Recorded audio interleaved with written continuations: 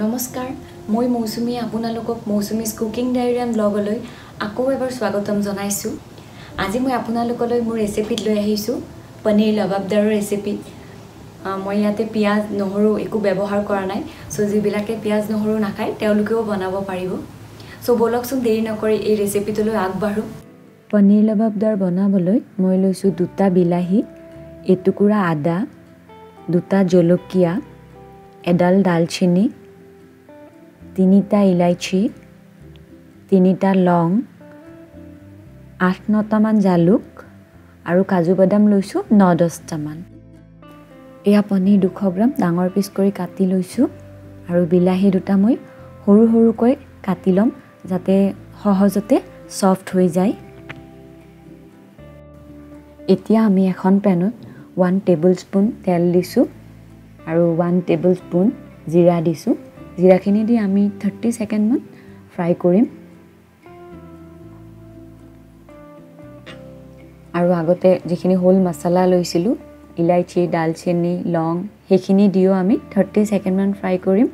যেতিয়াই তাৰ পৰা এটা সুন্দৰ গোন্ধ ওলাব তাত আমি আগতে লোৱা কাজু জলকীয়া আদা আৰু আমি আগতে কাটি থোৱা সৰু সৰুকৈ কাটি থোৱা বিলাহীখিনি দিম। নিমখ দিছোঁ ওৱান টিস্পুন নিমখখিনি দি আমি ধুনীয়াকৈ মিহলি কৰি দিম। আৰু যদি আপোনালোকে পিঁয়াজ ব্যৱহাৰ কৰিব বিচাৰে যোনে যোনে পিঁয়াজ খায় এই সময়তে পিঁয়াজ আৰু নহৰু ব্যৱহাৰ কৰিব পাৰে। আৰু এতিয়া আমি গোটেইখিনি এখন ঢাকনেৰে ঢাকন দি ফ্ৰাই কৰিম যাতে ধুনীয়া ছফ্ট হৈ যায়। আৰু এয়া মই চাৰ মগজ ব্যৱহাৰ কৰিছোঁ। আপোনালোকৰ যদি চাৰ মগজ নাথাকে তাৰ ঠাইত আপোনালোকে আফুগুটি ব্যৱহাৰ কৰিব পাৰে বাদাম ব্যৱহাৰ কৰিব পাৰে আলমণ্ডছ ব্যৱহাৰ কৰিব পাৰে যি মানে ভাল গ্ৰেভি বনায় তেনেকুৱা বস্তু আপোনালোকে ব্যৱহাৰ কৰিব পাৰে। আৰু এতিয়া গোটেই চব্জিখিনি ভালদৰে লৰাই দিছোঁ। আৰু এইদৰে ঢাকন দি দি আমি দহ পোন্ধৰ মিনিট ফ্ৰাই কৰিম যেতিয়ালৈকে চব্জিটো ছফ্ট হৈ নাযায়। আৰু ইয়াৰ পৰা আমি এটা ধুনীয়া পেষ্ট বনাব পাৰোঁ যাতে সেইদৰে আমি ঢাকন দি দি ফ্ৰাই কৰিম। যাতে এটা একদম মিহি পেষ্ট ৰেডি হৈ যায়। আৰু মোটামুটি দহ মিনিটমান ফ্ৰাই কৰাৰ পিছত গোটেইখিনি ড্ৰাই হৈ গৈছে চ' মই ওৱান থাৰ্ড কাপ পানী ব্যৱহাৰ কৰিছোঁ আৰু গোটেইখিনি ধুনীয়াকৈ এক মিনিটমান মিক্স কৰি দিছোঁ। আৰু এতিয়া আমি গ্ৰাইণ্ড কৰি ইয়াৰ পৰা এটা সুন্দৰ পেষ্ট বনাম। এতিয়া এখন পেনত মই ওৱান টেবুল স্পুন বাটাৰ লৈছোঁ আৰু ওৱান টেবুল স্পুন তেল লৈছোঁ আপোনালোকে অকল তেল বা অকল বাটাৰ ব্যৱহাৰ কৰিব পাৰে। তেলখিনি যেতিয়া গৰম হ'ব আমি তাত ওৱান টিস্পুন জিৰা দিছোঁ আৰু জিৰাখিনি দি অকণমান সময় আমি ফ্ৰাই কৰিম। আৰু লগে লগে আমি ওৱান টিস্পুন হালধি দিছোঁ। হালধিখিনি দিয়াৰ পিছত আমি অকণমান লৰাই দিম। যিহেতুকে আমি ড্ৰাই মছলা দিম চ' ভালকৈ লৰাই থাকিব লাগিব। One teaspoon red chilli powder দিছোঁ। আৰু হাফ টিস্পুন জিৰা পাউডাৰ হাফ টিস্পুন ধনিয়া পাউডাৰ আৰু এতিয়া গোটেই মছলাখিনি যিহেতুকে ড্ৰাই মছলা আমি ভালদৰে থাৰ্টি ছেকেণ্ডছমান ফ্ৰাই কৰিব লাগিব। মছলাখিনি ভালকৈ ফ্ৰাই কৰাৰ পিছত আমি ওৱান টিস্পুন আদাৰ পেষ্ট ব্যৱহাৰ কৰিছোঁ। আদা মই আগতেও ব্যৱহাৰ কৰিছোঁ আৰু এতিয়াও ব্যৱহাৰ কৰিছোঁ। আপোনালোকে যোনে যোনে নহৰু খায় এতিয়াতে নহৰুৰ পেষ্টটো দি পেলাই অকণমান সময় ফ্ৰাই কৰিব লাগিব। আৰু আমি আগতে যিটো পেষ্ট বনাই থৈছিলোঁ সেই মছলাখিনিত গোটেই পেষ্টটো দি দিম। এতিয়া পেষ্টটো এক মিনিটমানৰ বাবে ফ্ৰাই কৰিম। আৰু পেষ্ট থোৱা বাতিটোৰ পৰা আকৌ অকণমান পানী দিছোঁ মই। দি পেলাই মোটামুটি এক মিনিটমান ফ্ৰাই কৰিম।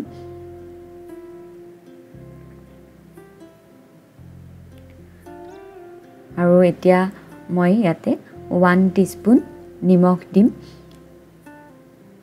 আৰু আমি এতিয়া দুমিনিটমানৰ বাবে ঢাকন দি ফ্ৰাই কৰিম। এইদৰে আমি গোটেই গ্ৰেভিটো কিন্তু ঢাকন দি দি ফ্ৰাই কৰিম। আৰু দুমিনিটমান হোৱাৰ পিছত আমি খুব ভালদৰে গোটেই গ্ৰেভিটো লৰাই দিম। এতিয়া মই গ্ৰেভিটোত ওৱান ফ'ৰ্থ কাপ পানী দিছোঁ। পানী দি পেলাই খুব ভালদৰে লৰাই দিম। গ্ৰেভিটো আমি কিন্তু কণ্টিনিউৱাছলি লৰাই থাকিম। লৰাই নাথাকিলে জ্বলি যোৱাৰ চান্স থাকে। আৰু এইদৰে লৰাই মেলি ফ্ৰাই হোৱাৰ পিছত আমি আকৌ এবাৰ ঢাকন দি এক মিনিটৰ বাবে ফ্ৰাই হ'বলৈ দিম। এয়া এক মিনিট পিছত ঢাকনখন গুচাই আকৌ আমি এবাৰ লৰাই দিছোঁ। খুব ভালদৰে লৰাম আমি। যাতে গ্ৰেভিটো তলত যদিও অকণমান ড্ৰাইও হৈ গৈছে চবখিনি ভালদৰে মিহলি হয়।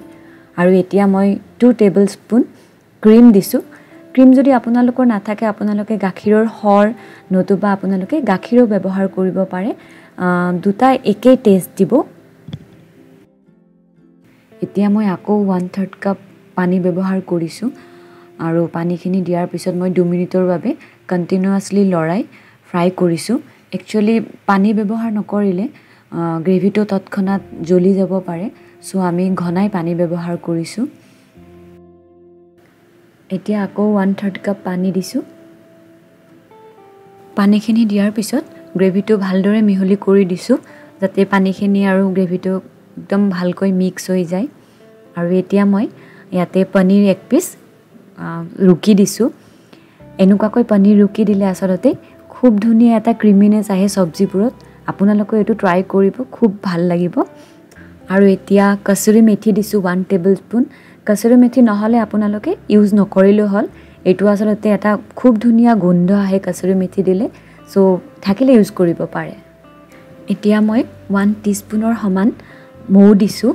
মৌ যদি আপোনালোকৰ তাত নাথাকে আপোনালোকে চেনি ব্যৱহাৰ কৰিব পাৰে কাৰণ ইয়াতে মাত্ৰ এটা মিঠা টেষ্টহে লাগে আমাক। এতিয়া আমি আকৌ ওৱান থাৰ্ড কাপ পানী দিছোঁ গ্ৰেভিটোত একচুৱেলি ট'টেল আমি তিনি কাপ পানী ব্যৱহাৰ কৰিছোঁ গোটেই গ্ৰেভিখিনিত গ্ৰেভিখিনি যেতিয়া অকণ বইল আহিব তাত আমি ধনিয়া পাত অকণমান দি দিছোঁ। আৰু আগতে যিখিনি পনীৰ কাটি থৈছিলোঁ সেই পনীৰখিনি দি একদম সাৱধানে লৰাই দিম কাৰণ পনীৰখিনি আমি ভজা নাই সেইখিনি কেঁচা পনীৰে। পনীৰখিনি দিয়াৰ পিছত আমি আকৌ এক মিনিটৰ বাবে ঢাকন লগাই দিম। এয়া এক মিনিট পিছত ঢাকন গুচাই আমি তাক খুব সাৱধানেৰে লৰাই দিম। পনীৰখিনি যিহেতুকে কেঁচা চ' ভাঙি যাব পাৰে।